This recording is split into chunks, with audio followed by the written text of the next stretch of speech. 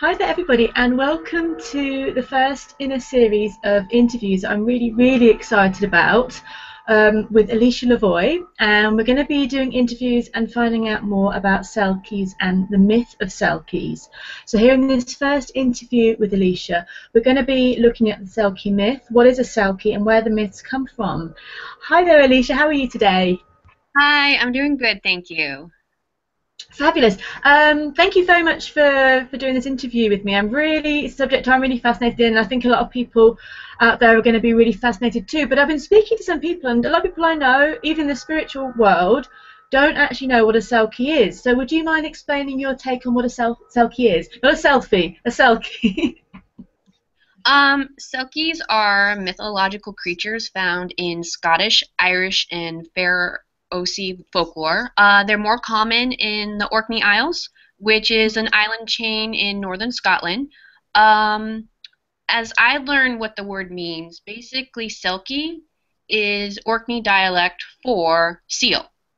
So they are said to live um, as seals in the sea, but they shed their skin um, to become human on land. Uh, in human form, Selkies are often depicted with uh, raven hair, chestnut eyes, and uh, very fair skin. And there's a beauty about them, but it's not that Hollywood glamorous beauty that we see. It's a beauty that comes from being connected to the land. And by dissecting that connection, you're taking a huge aspect of who these uh, beings are away from them. So, um, in a way, they would be living a half life if they are disconnected from their seal skin or from uh, being whole. That's the yeah. best way of describing a selkie. Thank you, absolutely. And I think there seems to be lots of myths about this in Scotland and where the Orkney Isles, Scotland and um, Ireland as well, as, as, you as you said. And it's a really interesting thing because each myth, wherever you look at, in the Faroe Islands as well, and around and about, there's always a story of this um, beautiful woman or handsome male, and the stealing of the skin is there every time. It's never just there's a woman and um, she turns into a seal. It's always the possession, isn't it? And the possession of the skin and the, the desire to possess that mm-hmm. wildness or that skin which always seems to happen. It's like people can't resist it, and it's quite harsh, really. But it also always causes trouble, doesn't it? In, in every myth, it never goes, "Oh, that'll be all right. Then you steal my skin, and it'll all be fine." No, it doesn't work that way. Also, it might be the um, the times when the myths were told.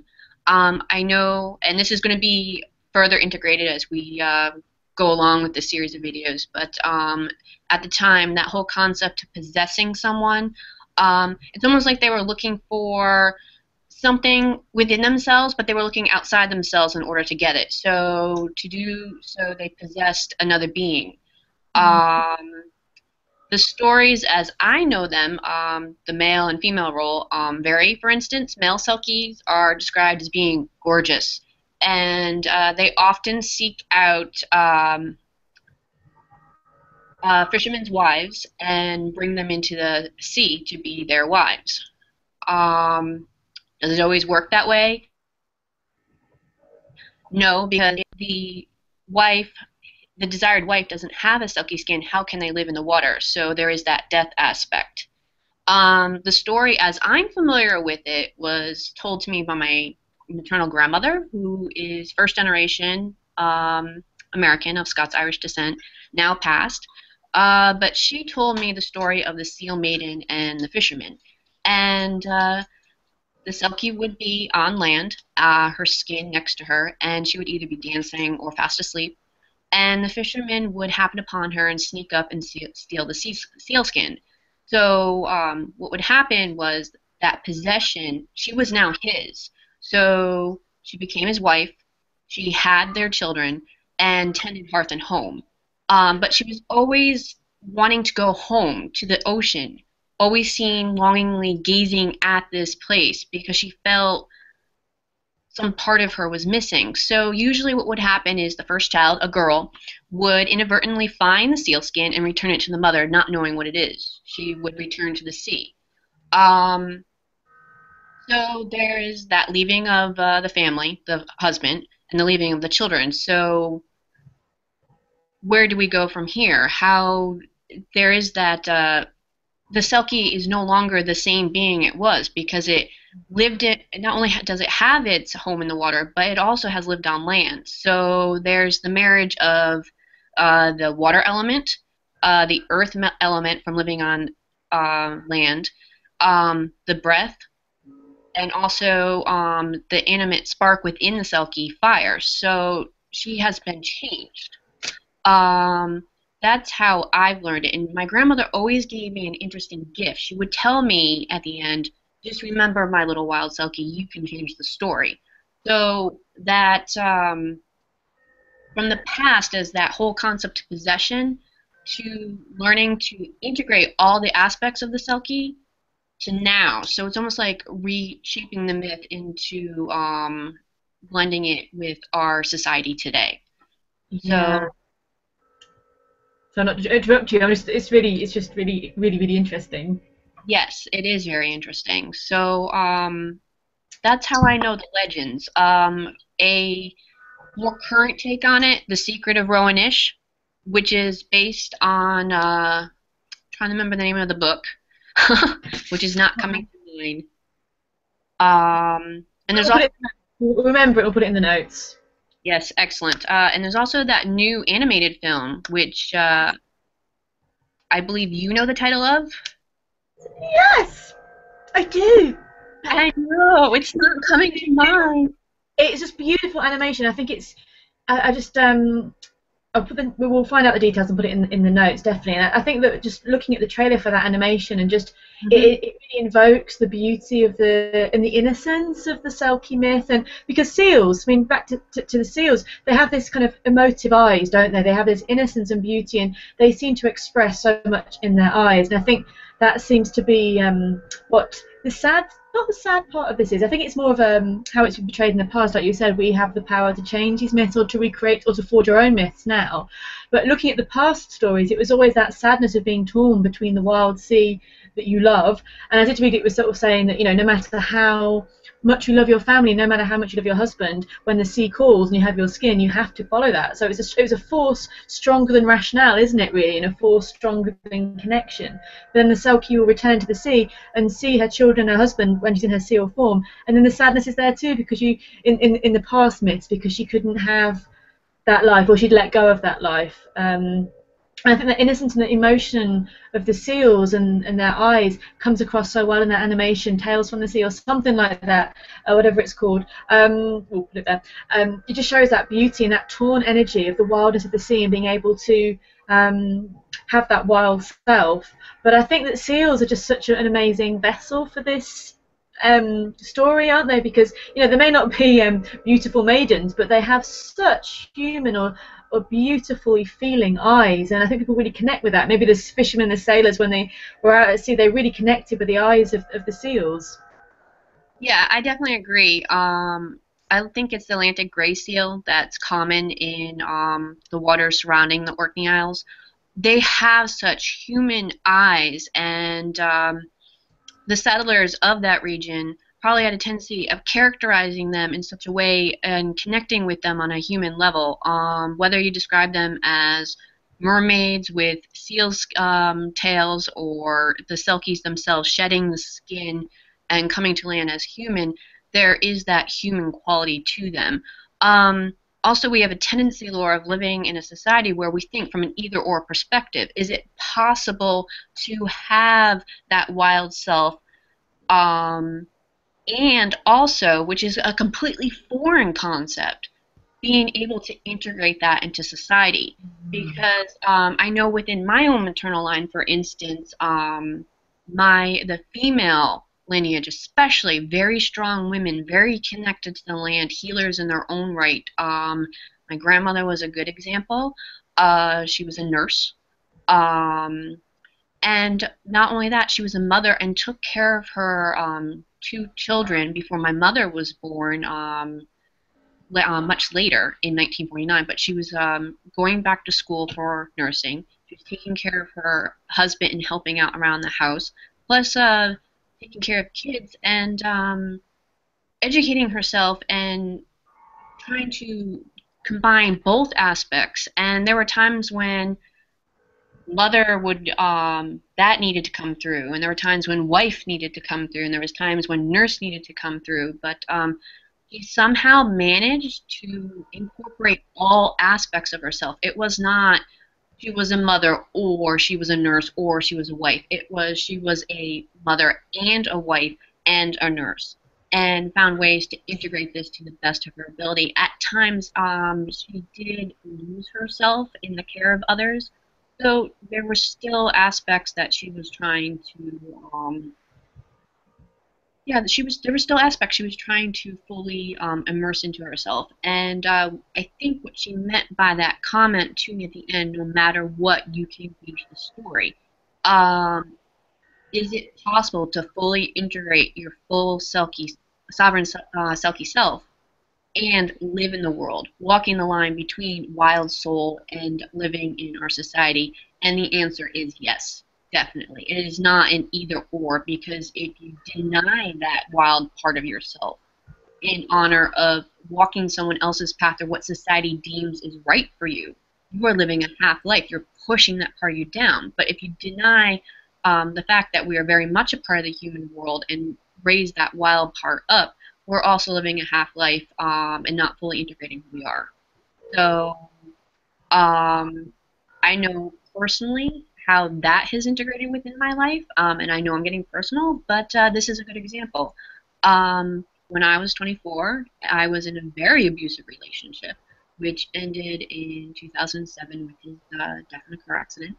And he tried everything possible to push me down, but I was also denying that wild aspect of myself uh, because I was afraid that he would not love me. So uh, I was living a half life. Um, and in the process of my healing journey after his uh, passing, I learned a great deal about myself, realizing that I cannot um, ignore that part of me. I am um, caregiver, I am friend, I am sister, I am death midwife, I am writer, um, I'm and th- those are aspects that are all a part of me that I'm trying to fully integrate into my life. So the archetype of the Selkie coming through and um, reclaiming my whole, um, full sealskin. Yeah, it's definitely it is possible to do.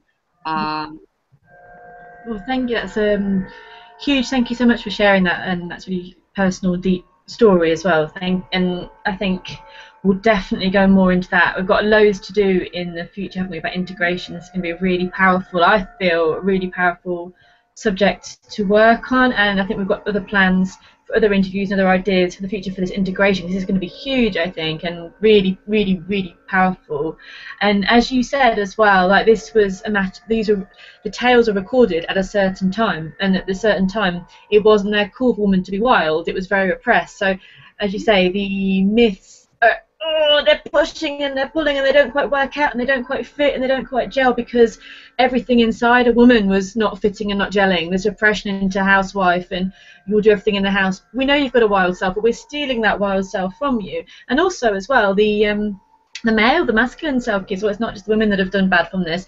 Um, I was like, I was reading about the masculine selfie, selkie and how they, um, you know, how they rescued women. And I think this is an interesting one about the hero and the, the, the energy of the hero's quest and the power of the masculine has also been diminished as well. So I find that selkie brings out those parts of ourselves that are repressed, and hence though the stories have been written down in the past in a time that we don't live in now. Kind of, I feel I'm happy about that in that society where women have to be the good housewife, etc.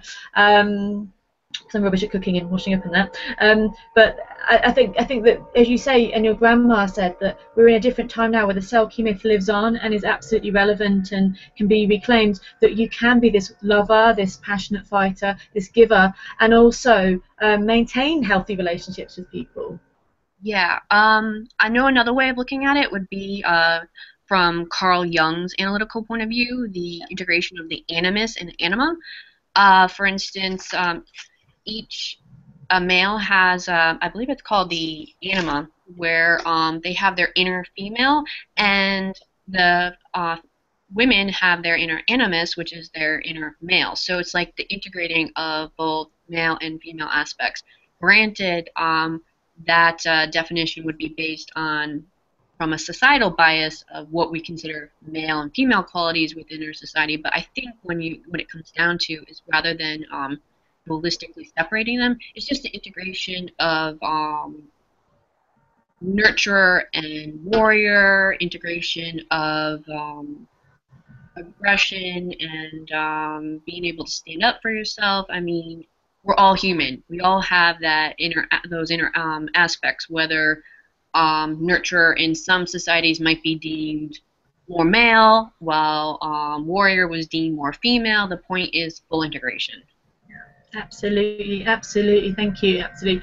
And what do you feel? I mean, I find that the Selkie's relation to the sea is obviously, obviously, you know, the wild call of the sea, but that the sea can't be tamed, and the aspect of what sometimes the sea, you know, how people their relationship with the sea to know, you know, to see that they would be aware that the sea would give and would give life and would give um, fish and would give things, but also would take away. And so, do you feel that the Selkie's relationship with the sea and the Selkie's dualistic nature is all is all linked in? Is all about how they view this this being, this creature, this aspect?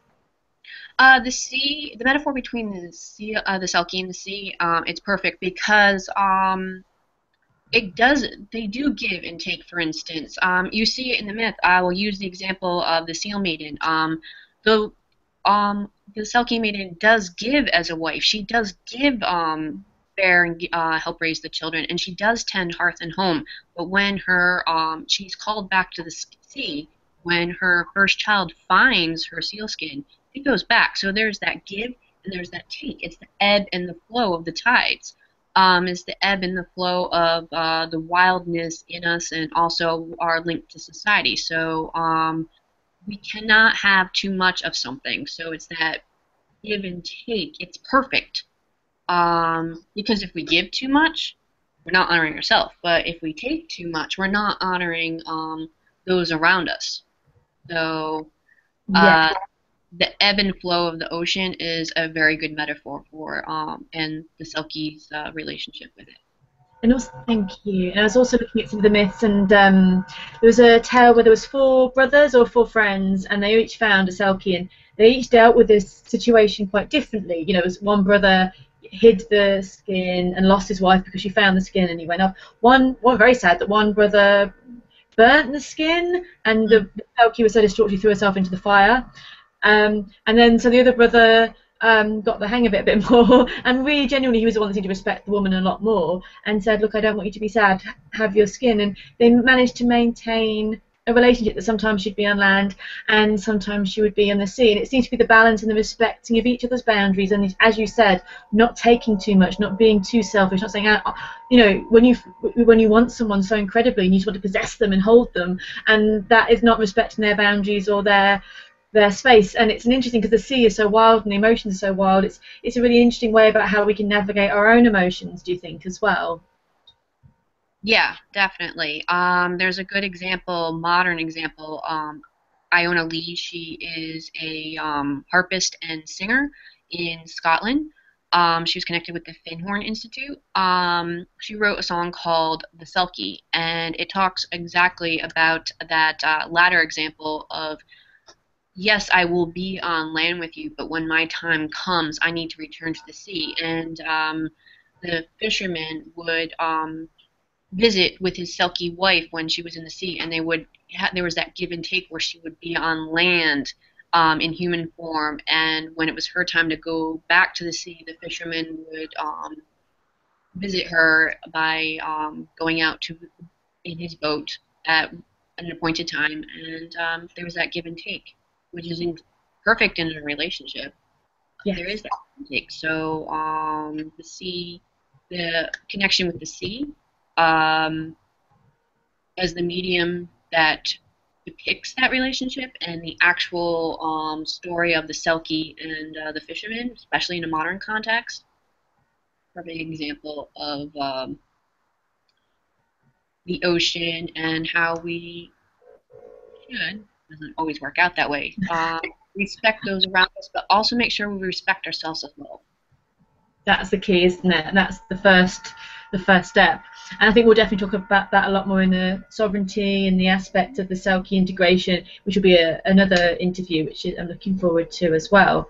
Um, so your family, as you say, uh, your maternal line has a real link to Selkie. Did they spur on your interest of Selkies when you were young? Um, did they tell you tales? Because um, I know that there's tales of obviously Selkies and humans having children and that lineage living on.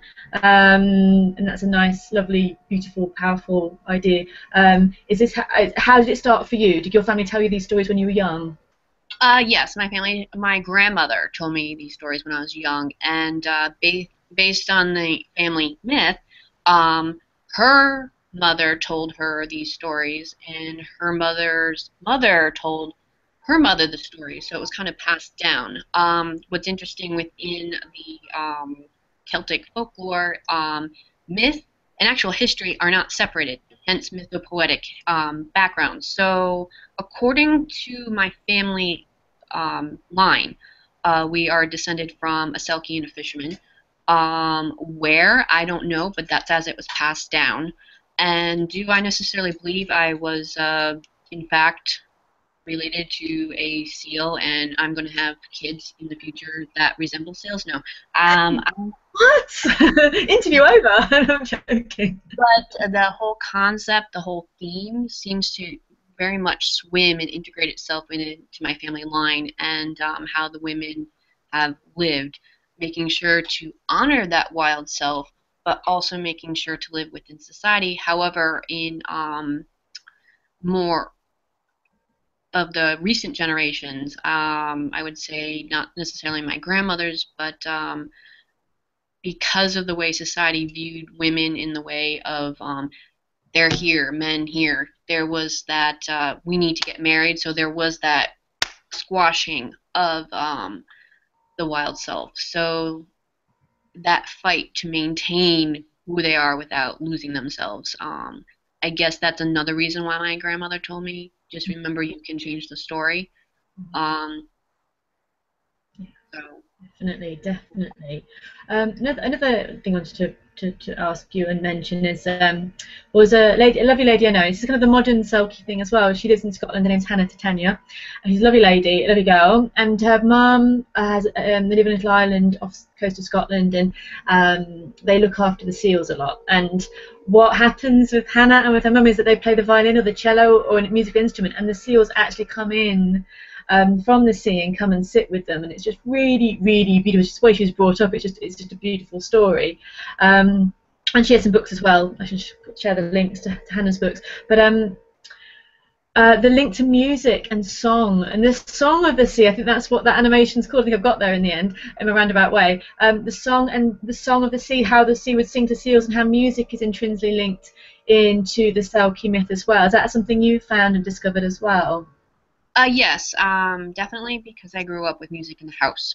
Um, as a way to express emotion, as a way to um, connect with uh, the land. It was almost like um, the playing of the instrument or vocal, um, vocally singing, um, and the land coming together. The product music was uh, expression of that um, connection. So um, vocal and instrumentation, for instance, uh, very prominent in my family. My grandmother, for instance, uh, fiddle, um, ukulele, guitar, piano, and organ, and um, it's very typical in my family line to have multiple talent with instruments and vocals. So yes. I know you um, sing as well, don't you? You've been doing some beautiful singing as well. Yeah, I've been uh, except I grew up with uh, the music, yes, and I was in my school's marching band, and I also play piano now. Um, but yes, I've been opening up and expressing more um, vocally. Perfect. And that's uh, most a healing thing as well, isn't it, to do? Yeah. Most recently in my work as a death midwife um, for a client's uh, memorial service. Wow. Wow. So yeah, very powerful. Um, can I ask something um, which is probably seeming to be really obvious, but for people who are very new to this or really fascinated, um, what would you say would be really good ways for them to connect with the energy of Selkie within themselves or in the wilds? It might seem obvious, but um, what would be a good first step that you would advise to people?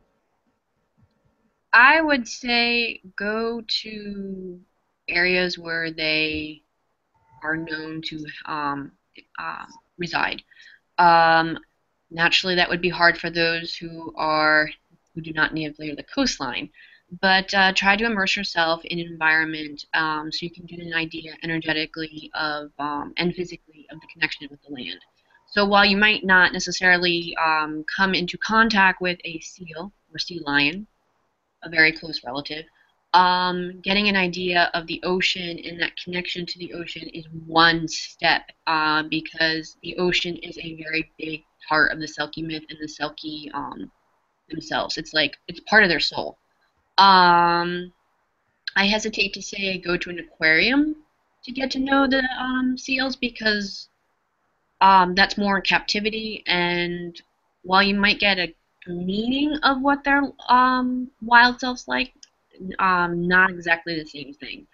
So um, for those who don't live near the coastline, which is kind of hard for me to pass on this information to them because I have access to the coastline. Um, I'm not that far from Long Island Sound, um, that area where, specifically where um, the Atlantic Ocean and Long Island Sound meet. Um, it's a very liminal place. Um, I would say find out as much as you can, um, research online um, or speaking with someone you know about um, seals, uh, their habitats, um, and then go on a journey, which I know we're going to go more into in a second video about integration, for instance, um, and see what comes up. And also put the intent out there in your dreams. I call this um, dream. Um, it's for dream work. Set the intention. I would like to meet a seal and um, as my guide. Also making sure to call in your guides to make sure that uh, you are indeed protected. Um, and see what they have to show you. Amazing. Absolutely. And you can always do that in the bath time as well, couldn't you? Like um, yeah.